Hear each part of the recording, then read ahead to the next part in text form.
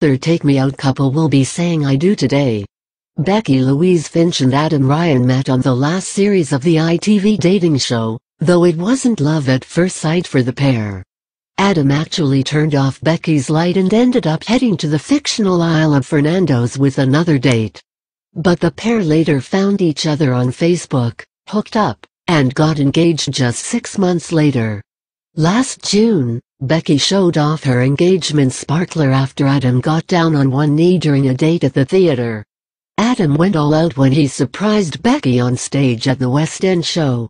Sharing her joy on Twitter, she wrote alongside a picture of the ring, Last night I had the biggest surprise ever. On stage in the West End, all filmed, at Adam Ryan underscore asked me to marry him. A thrilled Becky also shared a sweet congratulatory letter from Paddy McGuinness and the Take Me Out team ahead of their big day. Congratulations!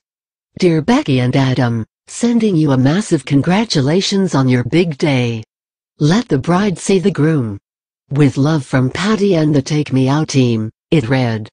From the guys who made it happen, Becky wrote alongside the note. The happy couple also released a statement thanking the show for making their paths cross. We owe absolutely everything to Take Me Out.